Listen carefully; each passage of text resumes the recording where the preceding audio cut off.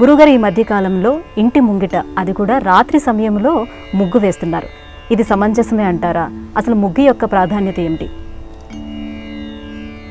ఈ ప్రశ్న కూడా అడగదగిన ప్రశ్న మంచి ప్రశ్న. ఎందుకంటే చాలా ఏళ్ళ ముందు ముగ్గులు ఉండట్లేదు ఇప్పుడు. పూర్వకాలం ఏ ఇంటి ముందైనా ముగ్గు లేకుండా ఉండేది కాదు. ఆ అంత ఊర్లోనూ ఒకటో రెండో ఇల్లు ముగ్గు లేకుండా ఉంటే ఏం జరిగింది పాపం అని అడిగేవాళ్ళు. అంటే అటువంటి ఇళ్ళకి మాత్రమే ముగ్గు ఉండేది కాదు. లేదు వాళ్ళ ఇంట్లో ఆబ్దికం ఉంటే ఆ రోజు ఇంటి ముందు ముగ్గు వేయకూడదు. కాబట్టి ఎవరైనా భిక్షాటనకు వచ్చిన వాళ్ళు కానీ అటువంటి వాళ్ళు ఆ ఇంటి ముందు ఆగరు. ముగ్గు లేదురా పద ఇంకో ఇంటికి వెళ్ళిపోదాం అని అనుకుంటారు. వీళ్ళని అడిగి లేదు నాయన వెళ్ళిరా అని లేదు అనిపించడం కానీ ఇవేమీ లేకుండా వీళ్ళు పెట్టలేదని వీళ్ళు అనుకోకుండా ఎంత చక్కగా దాన్ని చేయడం కోసం అక్కడ ఈ రంగవల్లి అనేది ఒక గుర్తు. ఈ ముగ్గు అనేది ఎన్నో విధాలుగా అది ఒక మంత్ర యంత్ర తంత్రములతోటి మనం మన యోగ సాధన జరుగుతుంది. అందులో ఈ రంగవల్లి అనేటువంటిది ఇది ఒక యంత్రము తంత్రము. మనం తయారు చేసేటువంటి యంత్రములన్నీ కూడా రాగిరేకు మీద ఇవన్నీ వేస్తూ ఉంటాం. ఇవి వేసేవన్నీ కూడా ముగ్గులు లాంటివి. ఈ ముగ్గులను మహిళామణుల చేత వాళ్ళు పదహారు ముగ్గులు చుక్కల ముగ్గు అని పద్దెనిమిది చుక్కల ముగ్గు అని వాళ్ళు అంత జాగ్రత్తగా చేసి పెట్టేవన్నీ కూడా అవన్నీ శ్రీచక్ర స్వరూపాలు. ఒక ముగ్గు మీకు శ్రీచక్రం అవుతుంది. వీటన్నిటిని కూడా బియ్య పిండితోటి వాళ్ళు కూర్చుని శ్రద్ధగా వేస్తారు. ఈ వేసేటువంటి ముగ్గులు ఆ ఇంటి యొక్క క్షేమానికి దుష్టశక్తులు ఆ ఇంట్లో ప్రవేశించకుండా ఉండటానికి ఇవి ఆ వాటిని అడ్డు పెడతాయి. కాబట్టి ప్రతి ఇంటికి ముగ్గు అవసరం. ఈ ముగ్గు లేకపోవటం అనేది కూడా ఆ ఇంట్లో ఏదో జరిగిందనే విషయాన్ని తెలియజేస్తుంది.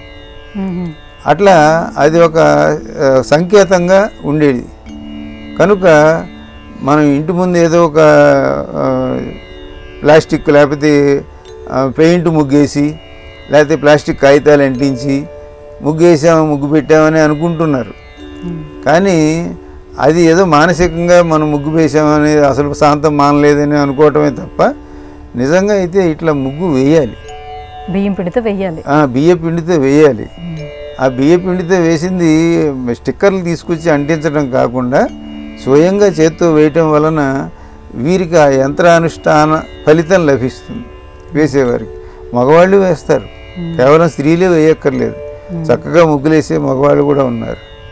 అత్యవసరమైనప్పుడు అంటే ఇప్పుడు స్త్రీలు వాళ్ళు ఇంట్లోకి రాలేనప్పుడు పురుషులు ఆ ఇంట్లో పనులన్నీ చేస్తారు వంట పనులు చేస్తారు. అట్లాగే ఇంటి ముందు ముగ్గేస్తారు.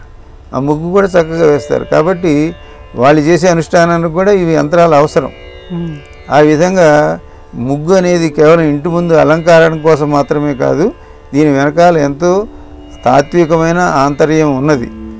కాబట్టి సాయంకాలం పూట కూడా ముగ్గు వేస్తారు. పల్లెటూళ్ళలో ఇప్పటికి కూడా సంధ్య ముగ్గు అని వేస్తారు. సూర్యాస్తమయం అవుతుండగా నీళ్ళు చల్లి ముగ్గు వేస్తారు. అది సంధ్య ముగ్గు. సంధ్య ముగ్గు వేసి ప్రాతः పొద్దున పూట వేసే పొద్దు ముగ్గు మాత్రం మానకూడదు. కొంతమంది తెలివిగా వీళ్ళు గైలో మేము శ్రాద్ధం పెట్టాం కాబట్టి ఇంకా మా నాన్నకి సంవత్సరం పెట్టక్కర్లేదని మాట్లాడుతూ ఉంటారు. అది తప్పు అని చెప్పారు ధర్మశాస్త్రం. అక్కడ పెట్టాలి గైలోనూ పెట్టాలి మళ్ళీ ఏటా తిథి నాడు పెట్టాలి. పొద్దున్న తొందర లేవలేమని రాత్రులు ఆ, లేవలేమని పొద్దుటి ముగ్గుని ప్రీపోన్ చేసినట్టు అంటే ముందుకు జరిపినట్టు రాత్రికి తేకూడదు. రాత్రి వేయాలి. కాబట్టి రాత్రిపూట దుష్టశక్తులు రాకుండా సంధి ముగ్గు కాపాడుతుంది. పొద్దున పూట పగలంతా రాకుండా కాపాడుతుంది. కాబట్టి ఈ ముగ్గు యొక్క సంధి ముగ్గు యొక్క ఆంతర్యాన్ని గమనించి అందరూ కూడా రెండు పూట్ల అంటే సాయంకాలం వేయండి పొద్దున పూట వేయండి చిన్న ముగ్గు అయినా వేయండి. పెద్ద ముగ్గే వేయక్కర్లేదు. మనం ఉన్న మా అపార్ట్మెంట్లో ఎక్కువ చోటు లేదండి అంటే చిన్న ముగ్గైనా వేయచ్చు. బియ్య పిండితో వేయండి సాయంకాలం సూర్యాస్తమైన సమయంలో వేయండి ప్రాతకాలం పొద్దున్నే నక్షత్ర చుక్కలుండంగా వేయండి. అది క్షేమాన్ని ఇస్తుంది ఇంటికి.